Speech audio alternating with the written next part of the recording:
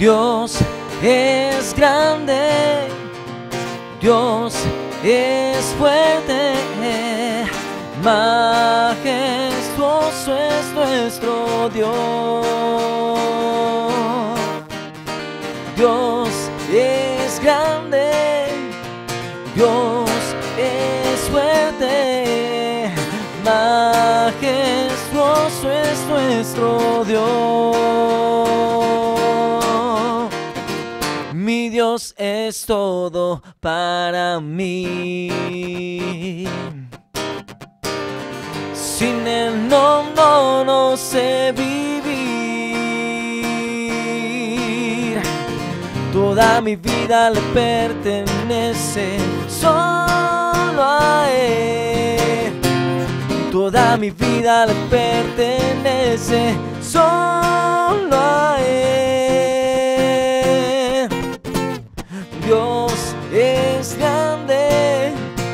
Dios es fuerte, majestuoso es nuestro Dios.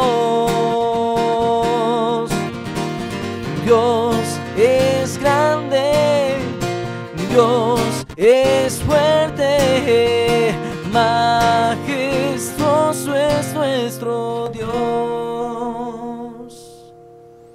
Hermanos y hermanas, sean bienvenidos de nuevo a la celebración de la Eucaristía. Saludamos con cariño a todos nuestros hermanos de Venezuela a través del canal TV Familia y a quienes nos sintonizan en Colombia a través de la señal de Claro y de DirecTV y también a quienes se conectan a través de las redes sociales para participar en línea de esta celebración eucarística.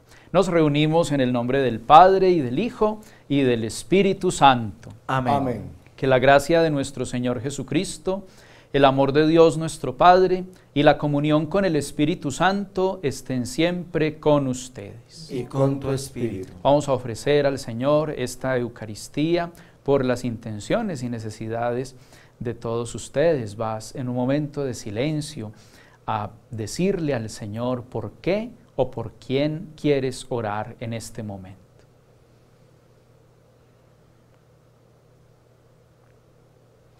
Y para disponernos a celebrar dignamente los sagrados misterios, pidamos perdón al Señor por nuestros pecados. Con sincero arrepentimiento digamos, yo confieso ante Dios Todopoderoso y ante ustedes, hermanos, que he pecado mucho de pensamiento, palabra, obra y omisión, por mi culpa, por mi culpa, por mi gran culpa. Por eso ruego a Santa María, siempre Virgen, a los ángeles, a los santos y a ustedes, hermanos, que intercedan por mí ante Dios nuestro Señor. El Señor Todopoderoso tenga misericordia de nosotros, perdone nuestros pecados y nos lleve a la vida eterna. Amén. Amén. Señor, ten piedad. Señor, ten piedad. Señor, ten piedad. Ten piedad. Cristo, ten piedad, ten piedad. Cristo, ten piedad, ten piedad. Cristo, ten piedad, ten piedad, ten piedad. Señor, ten piedad. Señor, ten piedad. Señor, ten piedad. Ten piedad. Oremos. Padre Todopoderoso y Eterno, que gobiernas los cielos y la tierra, escucha con amor las súplicas de tus hijos y haz que los días de nuestra vida transcurran en tu paz. Por nuestro Señor Jesucristo, tu Hijo, que vive y reina contigo en la unidad del Espíritu Santo y es Dios por los siglos de los siglos. Amén. Ahora dispongámonos a escuchar con atención y con fe la palabra del Señor. Lectura del libro del Génesis. Abraham tenía 100 años cuando le nació su hijo Isaac. El chico creció y lo destetaron. El día que destetaron a Isaac, Abraham dio un gran banquete. Pero Sara vio que el hijo que Abraham había tenido de Agar, la egipcia, jugaba con Isaac y dijo a Abraham, expulsa a esa criada y a su hijo, porque el hijo de esa criada no va a repartirse la herencia con mi hijo Isaac. Como al fin y al cabo era hijo suyo, Abraham se llevó un gran disgusto, pero Dios dijo a Abraham, no te aflijas por el niño y la criada, haz exactamente lo que te dice Sara, porque es Isaac quien continúa tu descendencia, aunque también del hijo de la criada sacaré un gran pueblo por ser descendiente tuyo. Abraham madrugó cogió pan y un odre de agua, se lo cargó a hombros a Agar y lo despidió con el niño. Ella se marchó y fue vagando por el desierto de Berseba. Cuando se le acabó el agua del odre, colocó al niño debajo de unas matas. Se apartó y se sentó a solas, a la distancia de un tiro de arco, diciéndose, no puedo ver morir a mi hijo. Y se sentó a distancia. El niño rompió a llorar. Dios oyó la voz del niño y el ángel de Dios llamó a Agar desde el cielo preguntándole, ¿qué te pasa, Agar? No temas, que Dios ha oído la voz del niño que está ahí. Levántate, toma al niño y tenlo bien agarrado de la mano porque sacaré de él un gran pueblo. Dios le abrió los ojos y divisó un pozo de agua. Fue allá, llenó el odre y dio de beber al muchacho. Dios estaba con el muchacho, que creció, habitó en el desierto y se hizo un experto arquero. Palabra de Dios. Te alabamos, Señor. Si el afligido invoca al Señor, Él lo escucha. Si el afligido invoca al Señor, Él lo escucha. Si el afligido invoca al Señor, Él lo escucha y lo salva de sus angustias. El ángel del Señor acampa en torno a sus fieles y los protege. Si el afligido invoca al Señor, él lo escucha.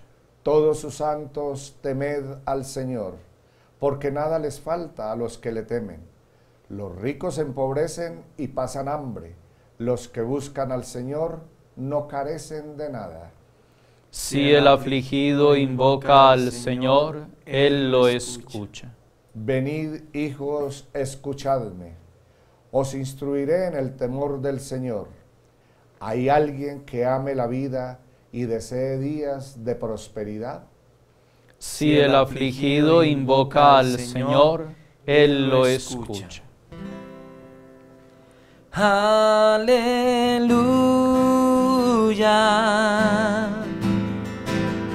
Gloria, aleluya. Gloria, aleluya. Al Señor.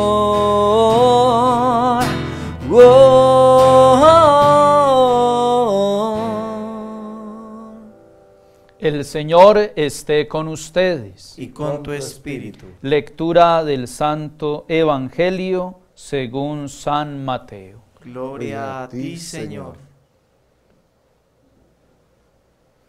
En aquel tiempo llegó Jesús a la otra orilla a la región de los Gerasenos.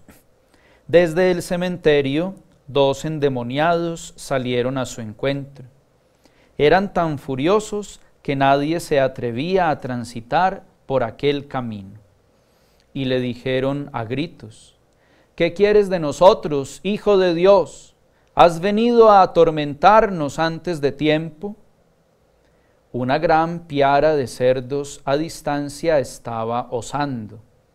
Los demonios le rogaron, si nos echas, mándanos a la piara de cerdos. Jesús les dijo, vayan. Salieron pues y se metieron en los cerdos, y la piara entera se abalanzó acantilado abajo y se ahogó en el agua.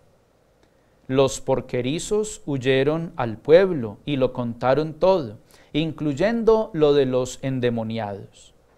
Entonces el pueblo entero salió a donde estaba Jesús y al verlo le rogaron que se marchara de su país. Palabra del Señor. Gloria, a ti, Señor Jesús. Hermanos y hermanas, las lecturas de la palabra de Dios en este día nos presentan un contraste muy interesante, el contraste entre la vida y la muerte. La primera lectura nos hablaba de la vida, del nacimiento de Isaac, el hijo de Abraham. Tenía 100 años Abraham, dice el texto sagrado, cuando Dios le concedió la gracia de tener un hijo, el hijo de la promesa. El Evangelio, por su parte, nos habla del tema de la muerte, del pecado.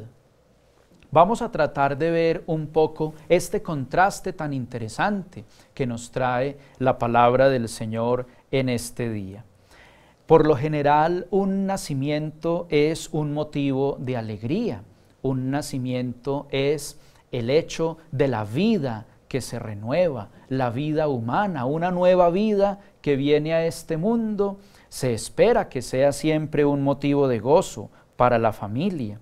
Pero a veces sucede que la venida al mundo de una nueva criatura es motivo de sufrimiento, motivo de conflicto. El nacimiento de Isaac, el hijo de la promesa, fue motivo de alegría, fue el feliz desenlace de una larga espera en la expectativa de que se empezaran a cumplir precisamente esas promesas que el Señor le había hecho a Abraham de darle una gran descendencia. Por eso el nombre de Isaac, allá en la lengua aramea del Antiguo Testamento, significa que Dios le sonría, precisamente porque Sara, su mamá, se había reído cuando el Señor le hizo la promesa a Abraham de darle un hijo ya en la ancianidad.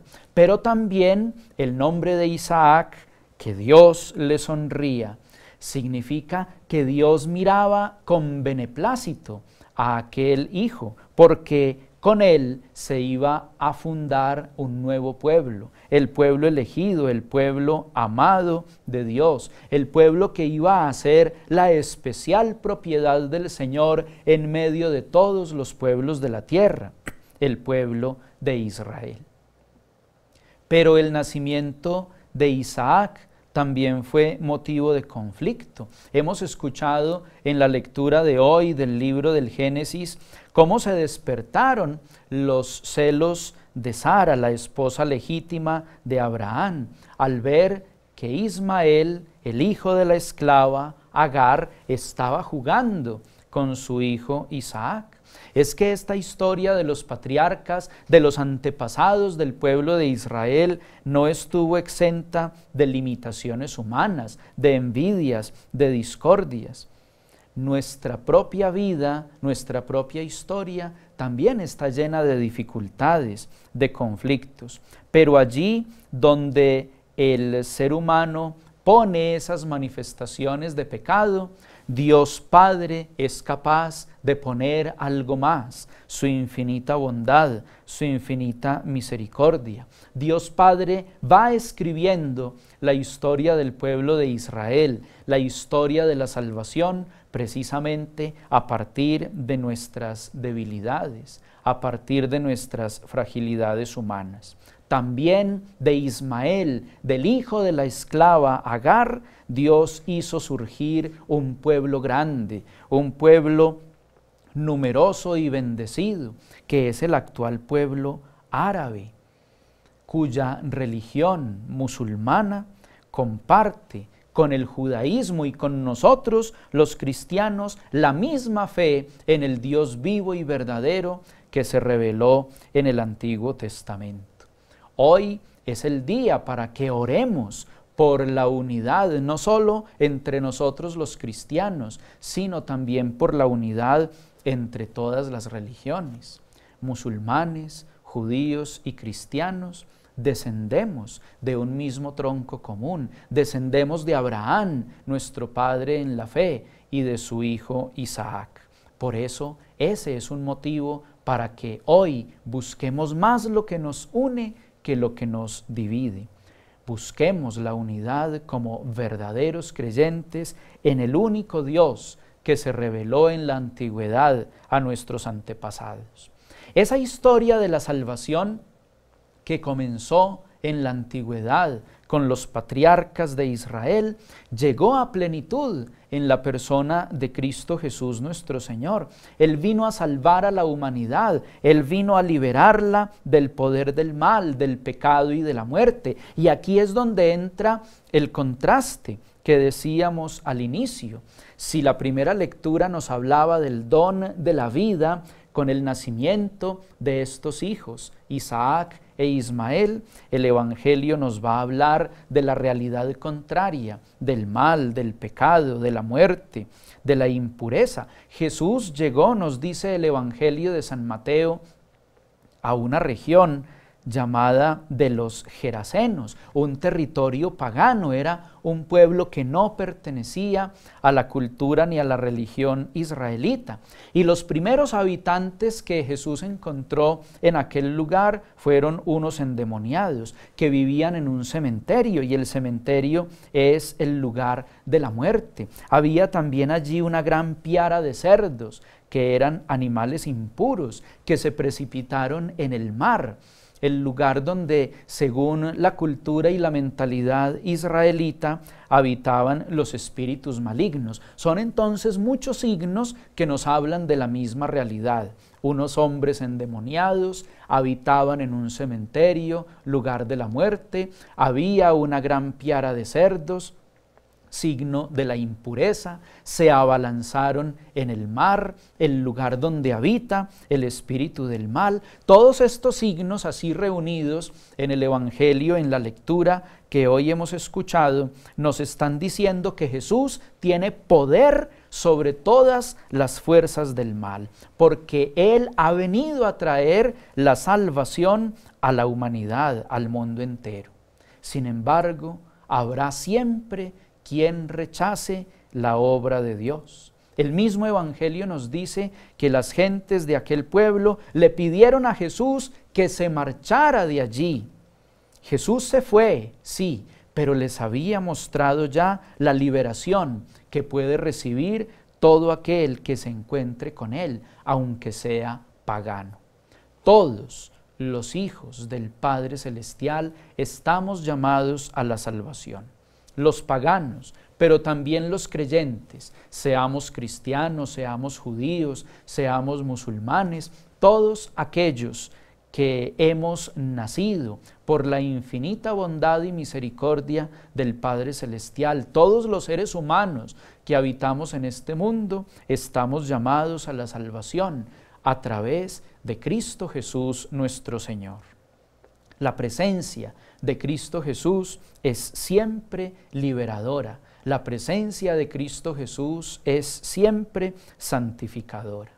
Por eso, al celebrar esta Eucaristía, supliquémosle al Señor, al comulgar con su palabra, al comulgar con su cuerpo y con su sangre, que nos acreciente cada día más la fe en Él, que nos permita acoger la salvación que Él nos ofrece, que nos haga cada día más dóciles a su acción entre nosotros, que nos conceda, ojalá un día, el don de la unidad, la unidad entre todos los cristianos, la unidad también con todos nuestros hermanos que profesan otras religiones.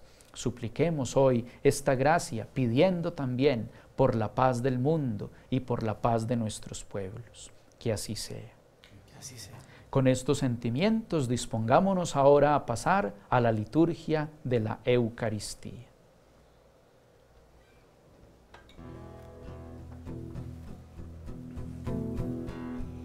Este pan y vino, Señor, se transformará en tu cuerpo y sangre, Señor, en nuestro manjar.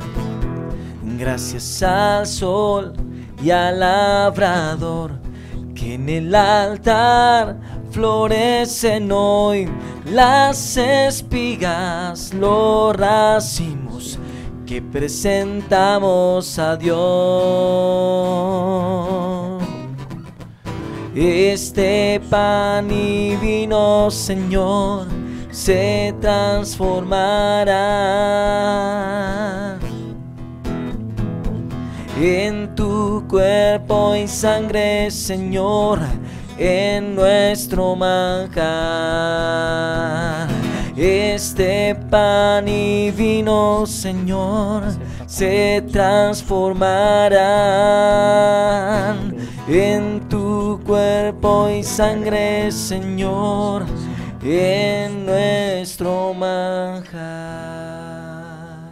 Oren hermanos y hermanas para que trayendo al altar los gozos y las fatigas de cada día, nos dispongamos a ofrecer este sacrificio agradable a Dios Padre Todopoderoso. Que el Señor reciba de tus manos este sacrificio para la alabanza y gloria de su nombre, para nuestro bien y el de toda su santa iglesia. Dios Padre nuestro, concédenos participar dignamente de estos sagrados misterios, pues cada vez que celebramos el memorial de este sacrificio, se realiza la obra de nuestra redención por Jesucristo nuestro Señor. Amén.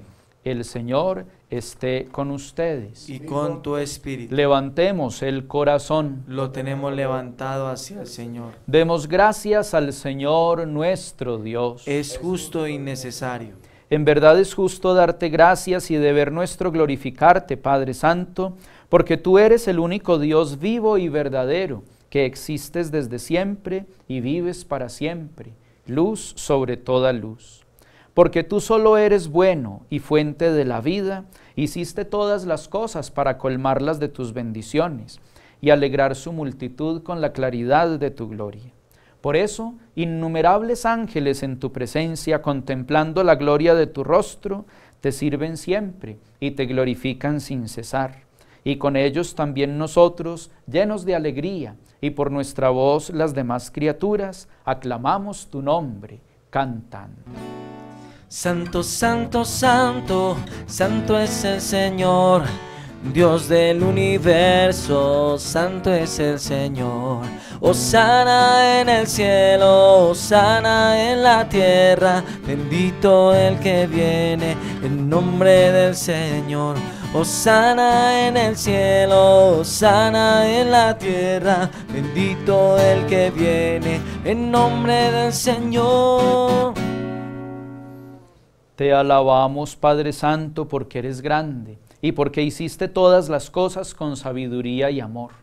A imagen tuya creaste al ser humano y le encomendaste el universo entero para que, sirviéndote solo a ti, su Creador, dominara todo lo creado.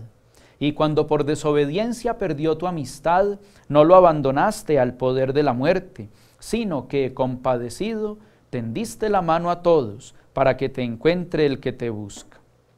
Reiteraste además tu alianza a la humanidad. Por los profetas la fuiste llevando con la esperanza de salvación, y tanto amaste al mundo, Padre Santo, que al cumplirse la plenitud de los tiempos nos enviaste como Salvador a tu único Hijo, el cual se encarnó por obra del Espíritu Santo, nació de María la Virgen y así compartió en todo nuestra condición humana, menos en el pecado anunció la salvación a los pobres, la liberación a los oprimidos y a los afligidos el consuelo. Para cumplir tus designios, él mismo se entregó a la muerte y resucitando destruyó la muerte y nos dio nueva vida. Y porque no vivamos ya para nosotros mismos, sino para Él, que por nosotros murió y resucitó, envió, Padre, a tu Espíritu Santo como primicia para los creyentes, a fin de santificar todas las cosas, llevando a plenitud su obra en el mundo.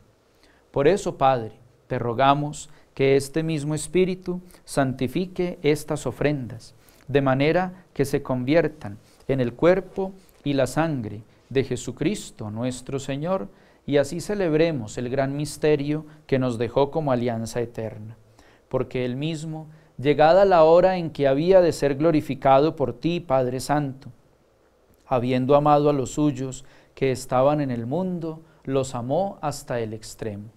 Y mientras cenaba con sus discípulos, tomó pan, te bendijo, lo partió y se los dio diciendo, Tomad y comed todos de él, porque esto es mi cuerpo que será entregado por vosotros.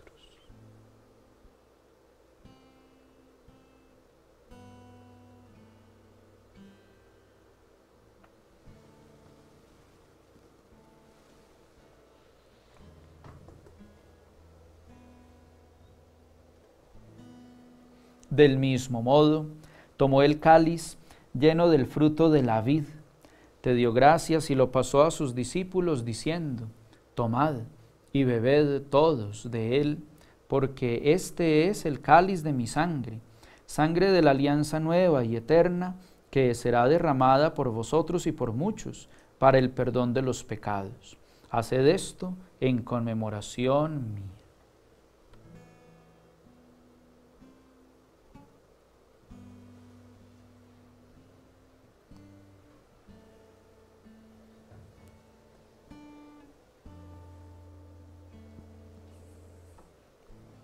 Este es el sacramento de nuestra fe. Anunciamos, tu muerte, proclamamos tu resurrección. Ven, Señor Jesús.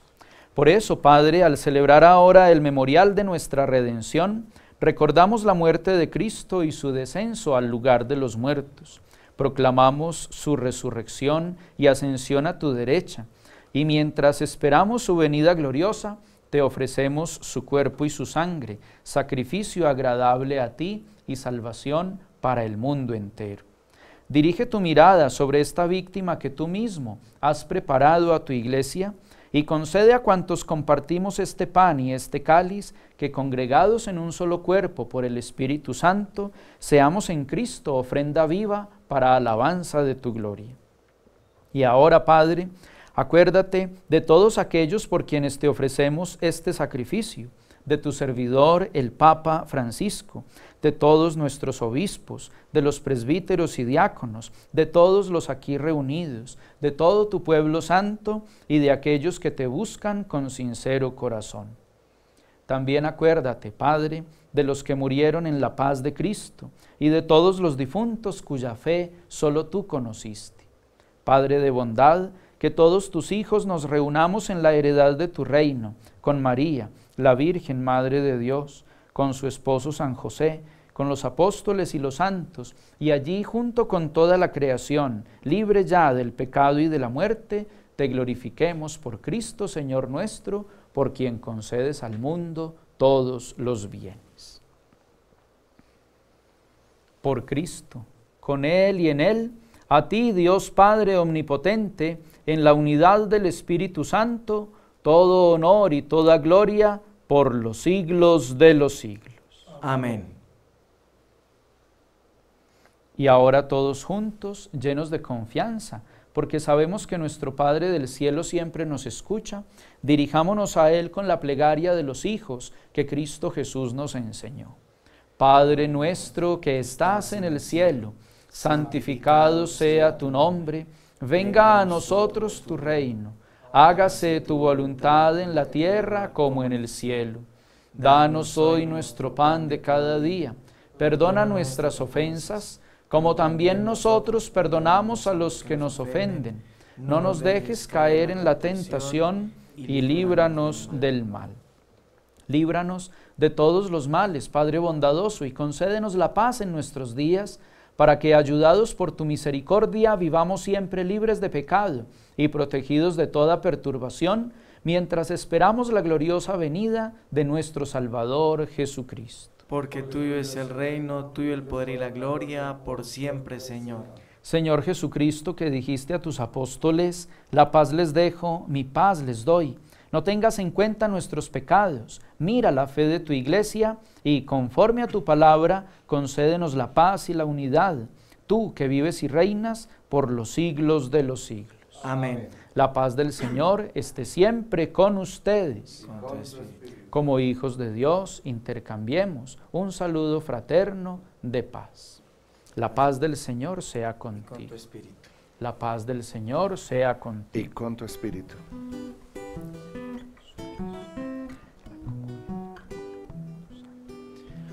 Cordero de Dios que quitas los pecados del mundo. Cordero de Dios que quitas los pecados del mundo. Ten piedad, ten piedad, ten piedad de nosotros. Ten piedad, ten piedad, ten piedad de nosotros. Cordero de Dios que quitas los pecados del mundo. Cordero de Dios que quitas los pecados del mundo. Danos, danos la paz. Danos, danos la paz. Este es Cristo Jesús, el Cordero de Dios, que quita el pecado del mundo. Señor, no soy digno de que entres en mi casa, pero una palabra tuya bastará para sanar. El cuerpo y la sangre de nuestro Señor Jesucristo nos guarden a todos para la vida eterna. Amén.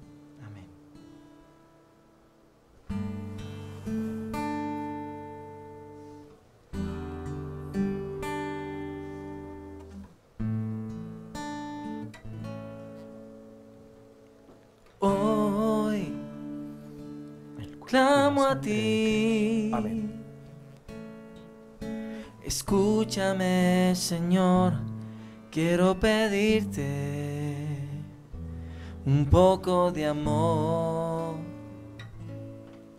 He perdido la paz, me siento desmayar. Si tú me abrazas, el dolor sanará. Hoy clamo a ti. Escúchame, Señor, quiero pedirte un poco de amor. He perdido la paz, me siento desmayar. Si tú me abrazas, el dolor sanará. Abrázame, Señor. Quiero sentir tu amor en mí. Quiero posarme en tu corazón. Quiero abrazarte.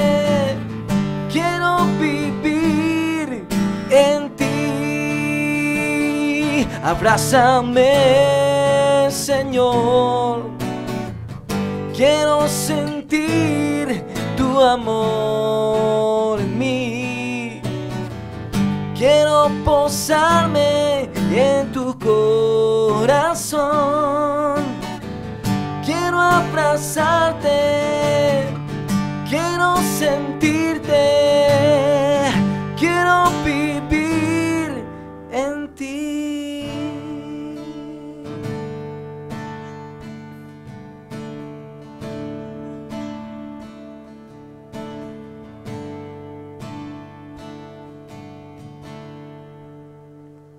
Oremos. Dios Padre nuestro, infunde en nosotros el espíritu de tu caridad para que alimentados con el pan del cielo, nos hagas siempre concordes en la fe y en la piedad por Jesucristo nuestro Señor. Amén. Muchas gracias a todos ustedes, queridos hermanos y hermanas, que nos acompañan en esta celebración eucarística a través de las redes sociales, a través de la señal de Claro, de DirecTV y en la República de Venezuela a través del canal Telefamilia. Que el Señor les bendiga y les recompense abundantemente por su generosidad. El Señor esté con ustedes. Y con tu espíritu. Y la bendición de Dios Todopoderoso, Padre, Hijo y Espíritu Santo descienda sobre ustedes y les acompañe siempre. Amén. En el nombre del Señor podemos continuar en paz. Demos gracias a Dios. Feliz día para todos y todas. Gracias, Padre. ¿Qué hubiese pasado si ella hubiese dicho que no? O ignorado o dilatado el anuncio de su ángel de amor. En cambio creyó en tu palabra y se hizo su esclava en un acto perfecto y de fe. Y hoy quiero ser como ella y amarte aunque duela. Las espinas y el camino de la cruz, dame la fe, Señor. La fe de María. Para decirte